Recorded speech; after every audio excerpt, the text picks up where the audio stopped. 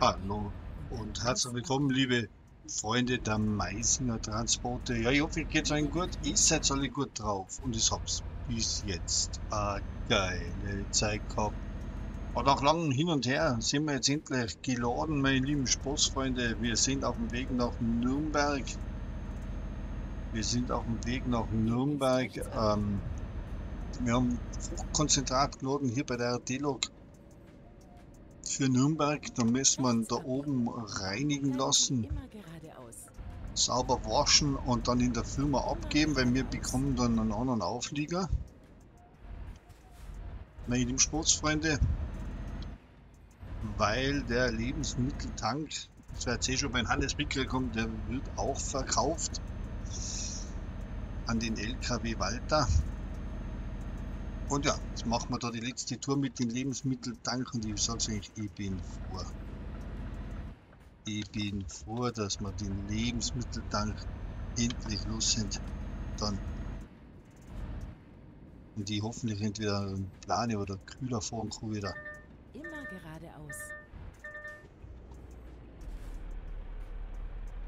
So, Grüße gehen raus an meine Sportsfreunde, an die Großen und die Kleinen, an die neu dazugekommenen und die Veteranen. Schön, dass ihr hier den Weg zu mir in die Meisinger Transporte gefunden habt und ich hoffe, ich kann ein bisschen mit diesem Let's Play unterhalten. Genauso wie Grüße rausgehen an meine YouTube-Kollegen. Ganz besonders halt an hier, an meinen Projektpartner an den virtuellen Chef, an Maisi on the Road, an den Meister der Classic Trucks, an Tracker, Andal, JJ und Tour, Hermann im Punkt, der Micha von der ITL Abaxe, die virtuellen Trucker Stories, der liebe Badora, die Spieltanne und die ganzen anderen lieben Kollegen, so wie Harry de Jong und Stefan on the Road, was bei mir hier verlinkt sind, schaut mal bei den Jungs vorbei, hinterlasst einen Daumen nach oben, ein nettes Kommentar und wenn es geht, meine lieben Sportsfreunde, schaut die Videos von Anfang bis Ende U. Würde uns in dieser Dreierkombination aus Daumen nach oben, Kommentar und von Anfang bis zum Ende schauen, würde uns natürlich viel helfen im YouTube-Algorithmus nicht nur mir, sondern auch meinen Kollegen. Und wer natürlich Lust und Laune hat, der kann nämlich mich und meine Kollegen gerne abonnieren, die Glocke aktivieren, so dass, wenn es hier auf unseren Kanälen mit etwas Neuem weitergeht, nichts mehr Neues versandt wird.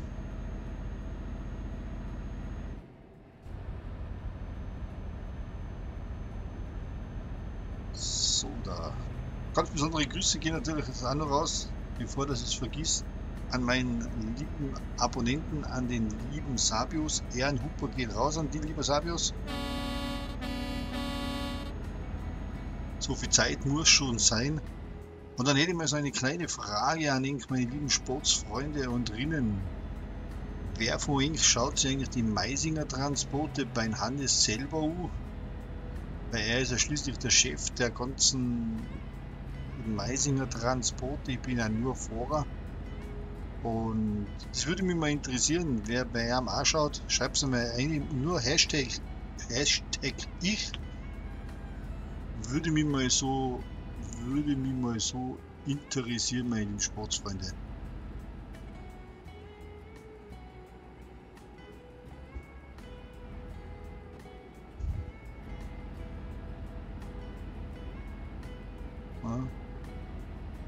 Ein Warnsignal leuchtet auf, warum auch immer.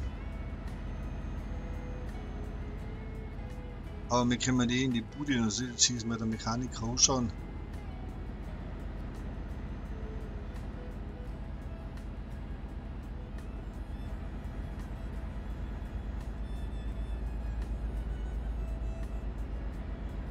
Jetzt eigentlich noch ein Stück mitnehmen, so über München aussehen und dass wir eben dann nicht zu viel Zeit verschwinden auf der Autobahn, dass wir, dass wir eben dann eine richtig gute Tour noch zusammenkriegen, weil es ist Montag, wir sind eh spät dran.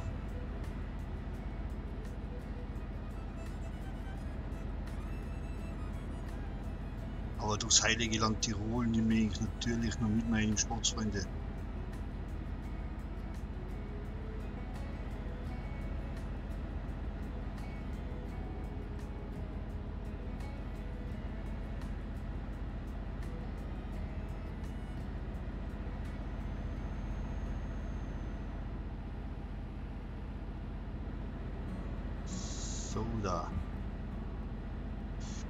Was Neues gibt, ja, also wer von Hannes die Folge gesehen hat, äh, der Wrangler T wird verkauft an den LKW Walter. Ich glaube, der geht nach Schweden auf. Ich glaube, auch diesen geht auch der Tankwagen nach Schweden auf.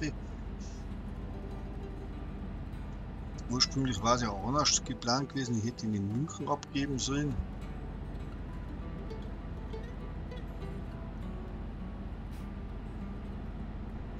Dispo, nicht laut Hannes, sondern laut Dispo hätte ich den in München abgeben sollen. Jetzt aber echt wieder anders, deswegen haben wir eben da die, die Verzögerung mit dem Laden gehabt. Und ja, wir schauen jetzt, dass wir eben da nach Nürnberg aufgekommen. Und ich würde sagen, hier ist die Grenze, dann machen wir hier einen kurzen Cut und wir sehen uns in Nürnberg oben dann wieder, wenn ich dann umgesattelt habe und dann weiß ich, ob ich einen Plane oder einen Kühler habe. Also bis gleich, meine Sportsfreunde. So, meine Sportsfreunde, umgesattelt. Kühler True bei der DFH Salat für, für äh, Zürich geladen. Wir sind, wir sind nicht schwer, wir sind, wir sind jetzt da wirklich nicht schwer dran. Biege nach rechts ab. Jetzt werden wir eben da bis zum Zollhof fahren.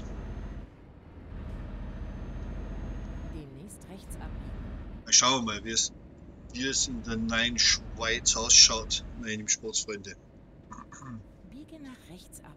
So.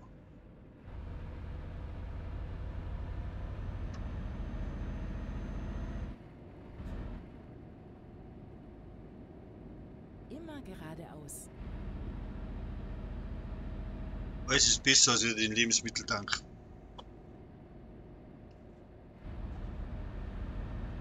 Haben wir unsere Musi dazu? Demnächst rechts abbiegen.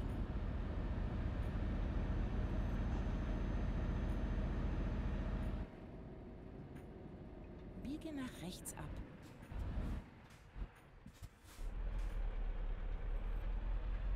Dann geht's auf. Wir haben jetzt roundabout äh,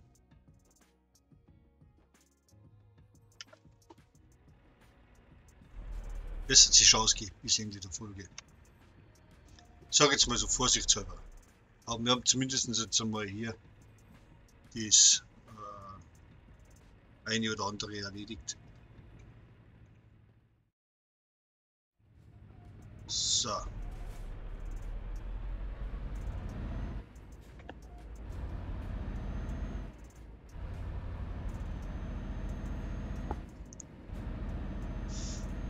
Auf geht's in die Schweiz. Das heißt, wir müssen verzollen.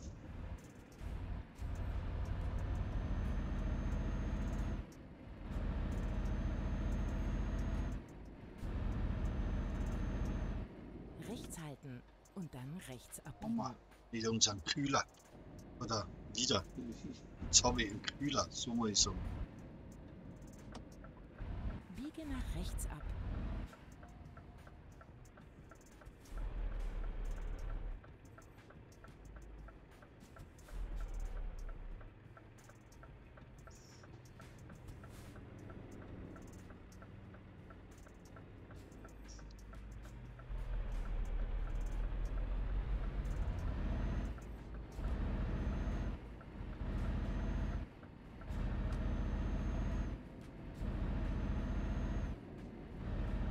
So, auf geht's Richtung Zürich.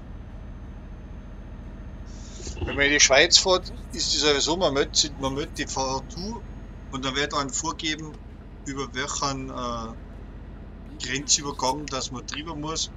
Also das war halt die von die Schweizfahrer von uns.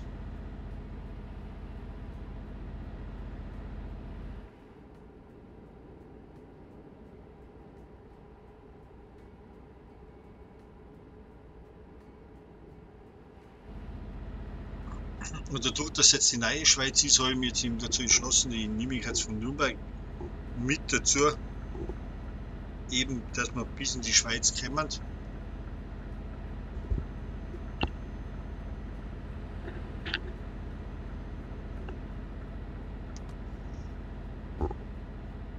mit frischen Salat.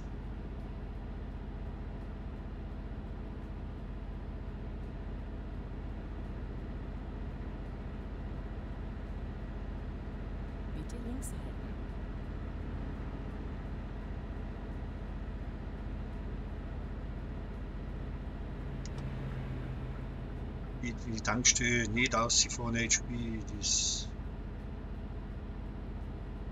der Kaffee ruft zwar, ja, nach dir, aber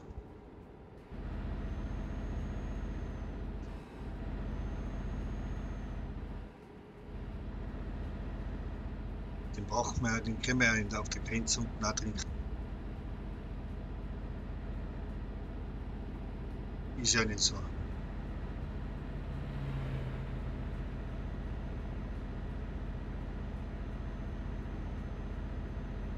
Kühler muss man immer mal abwaschen, ja.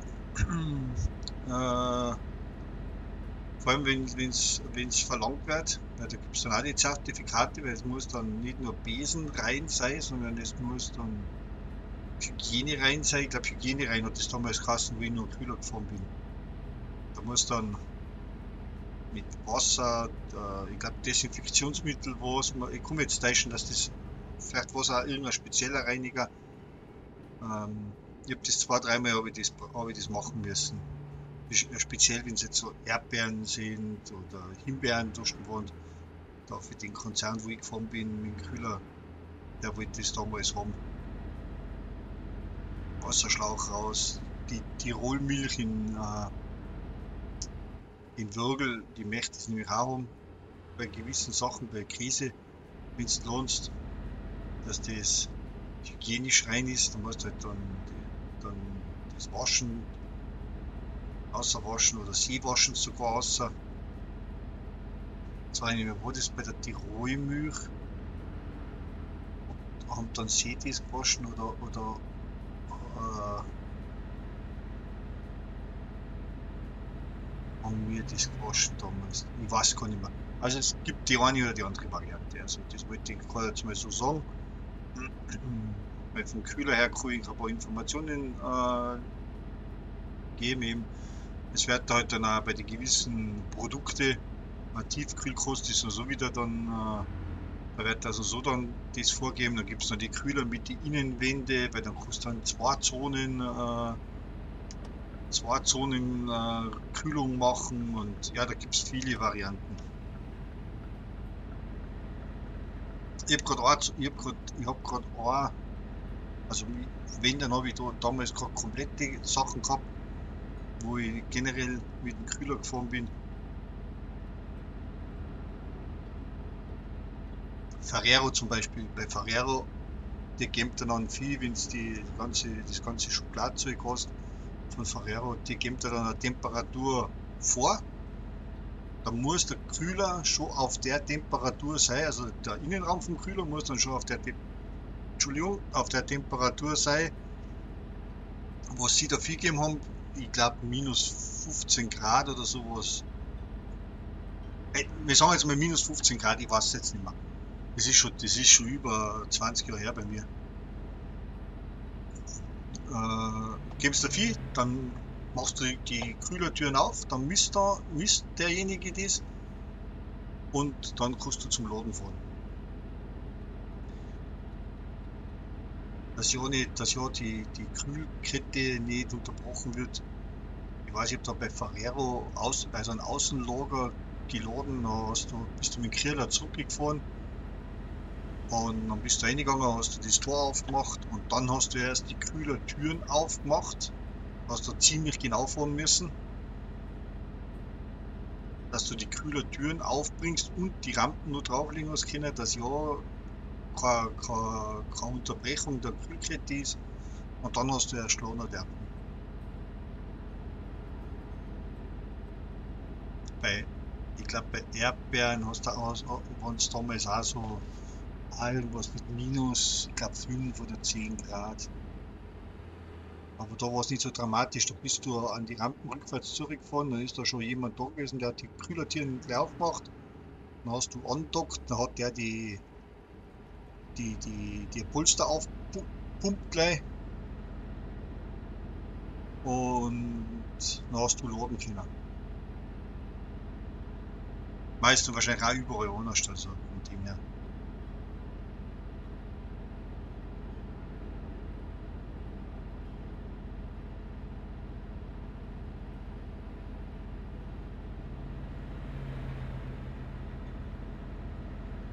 Geht sie das aus. Wir fahren jetzt bis zum Zollhof. Da werde ich jetzt dann verzollen, da werde ich im Zollhof übernachten. Deswegen habe ich auch, deswegen fahren wir jetzt auch durch, dass da in die Schweiz, dass wir da in die Schweiz keine Probleme haben, dass wir eben da durchgefahren sind, bleibt da nirgends stehen und, das, und dann übernachten wir eben. Und dann fahren wir nach Zürich, abladen, wahrscheinlich zugladen. Wo es dann hingeht, weiß ich nicht.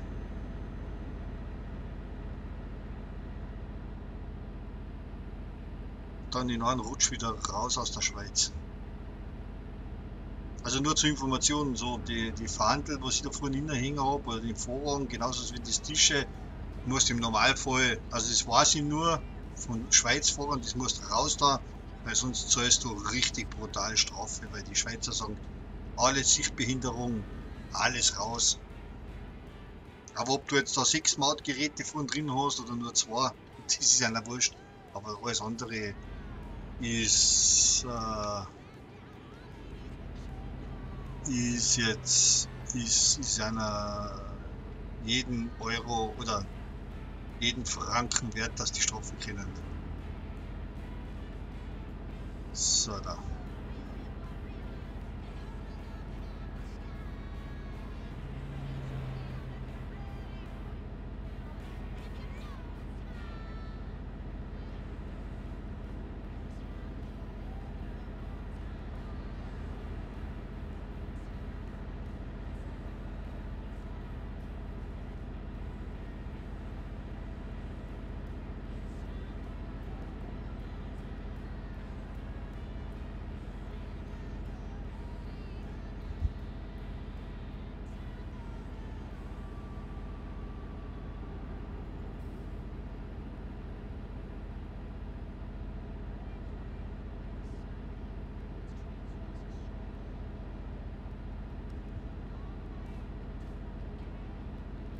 Was kann ich sonst so was kühler von erzählen?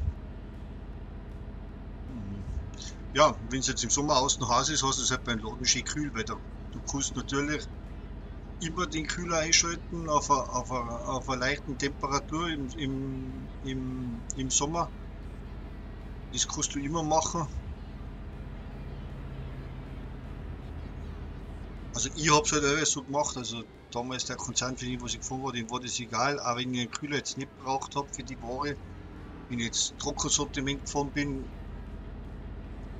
oder mehr als für Trockensortiment gefahren bin oder Getränke, habe ich den Kühler alle so auf minus 2 oder 3 Grad eingestellt. Das heißt schön kühl war in, in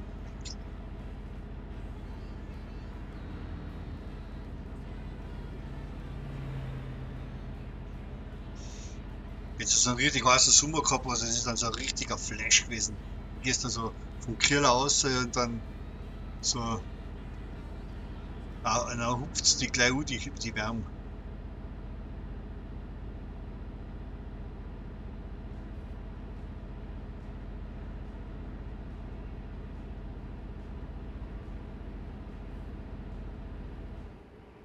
Nächstes, da kommen wir zu einem Abschnitt, wo wir schon mal gefahren sind. Zürich 144 Kilometer. Jetzt darf man gerade den Hof nicht übersehen. Ja, da, das ist das Kreuz da. Aber da ist er.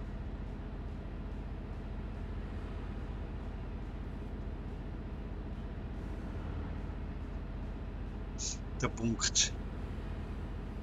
Im Sportsfreunde, da ist er der Punkt. Der Zollhofpunkt, hoffe ich mal.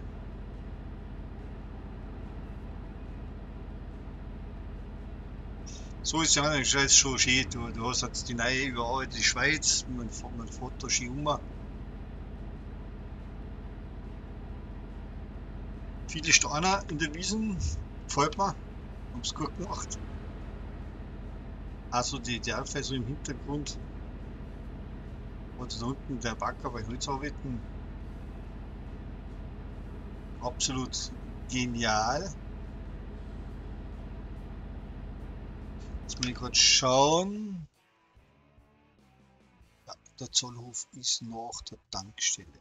Passt.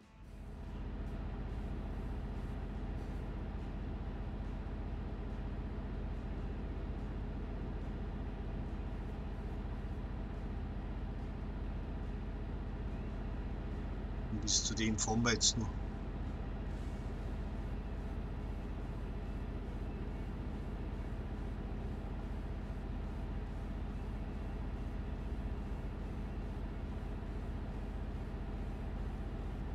Dass wir aber hier ein bisschen in die Schweiz kommen bei meinem Let's Play. Da kommen wir ja ganz selten hier. Bei den Meisinger Transporte.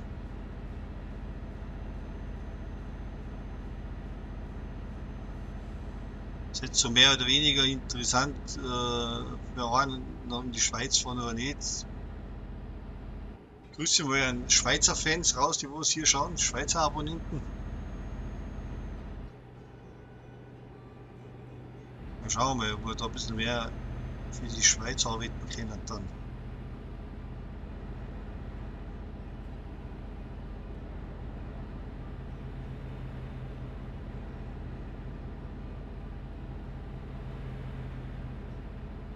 Ich glaube, das ist nur altes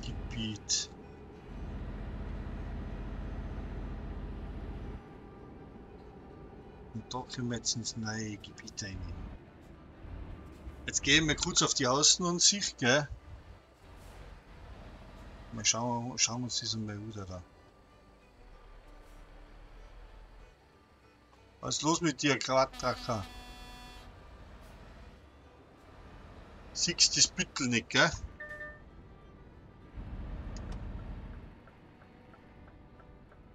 So, da haben wir jetzt den Zollhof. Das passt, das gefällt mir ganz gut.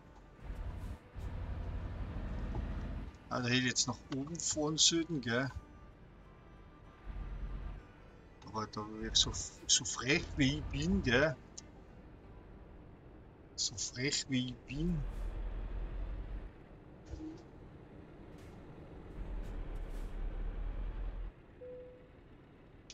Wenn wir uns jetzt da so reinstellen.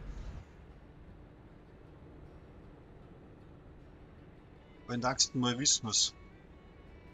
So, meine Sportsfreunde. Da werden wir angekommen am Ende der Folge. Schauen wir uns das mal aus der Außenansicht durch. So da. Schauen wir uns das mal aus, aus der Außenansicht durch. Ich finde den Zollhof gut gemacht, also man kann da nichts sagen, gell? Raum, Deutschland, Schweiz. Ja, mal schauen, wo da das Speditionsgebäude ist. Werden wir uns da mal äh, bis zum Verzollen gehen. Und ja, dann werden wir uns in der nächsten Folge wiedersehen, meine Sportsfreunde. Ich hoffe, Ihnen hat es euch gefallen. Wenn ja, wenn ja, würde ich mich über einen Daumen nach oben freuen. Über das eine oder andere Kommentar würde ich mich natürlich auch freuen. Wer Lust und Laune hat, der kann mich gerne abonnieren, die Glocke hier aktivieren. So dass wenn es hier bei den Meisinger Transporte weitergeht nichts mehr Neues versäumt wird. Und dann wünsche ich dir bis zum nächsten Mal einen schönen Tag, einen schönen Abend, eine schöne Nacht, einen wunderschönen guten Morgen, äh, lieber Sportsfreund, liebe Sportsfreundin, je nachdem, wann du dir hier dieses Video schaust, vergesst zwar meinen Leitspruch nicht, Respekt kommt vom Wort respektieren. In diesem Sinne, bleibt mir gewogen und vor allem meine lieben Sportsfreunde, das ist viel, viel wichtiger, bleibt mir gesund, bis zum nächsten Mal, euer HB. Servus.